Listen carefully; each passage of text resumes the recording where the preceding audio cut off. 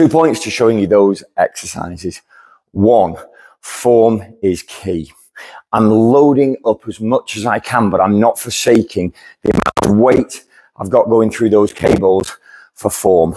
I'm going to avoid injury, get proper exercise, execution, which is going to hit those balls properly.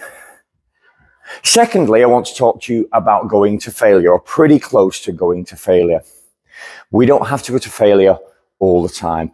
A race car doesn't run in the red line and neither should we.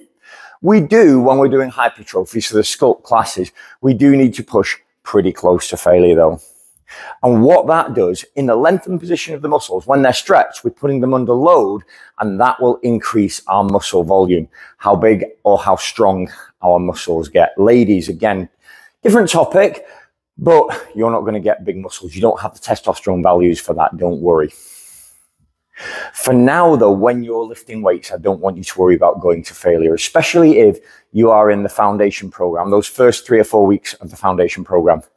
The last couple of weeks, I'm going to push you a little bit harder if you've been consistent in your training, but I don't want you to look at people who've been here a long time thinking, oh, I should be doing that.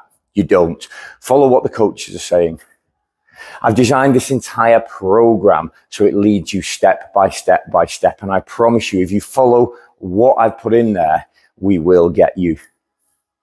Your goals are really important to me. And that is why I've put this program in place the way I have. Don't forget, as I always say, don't swim away from me. Swim towards me if you've got any issues.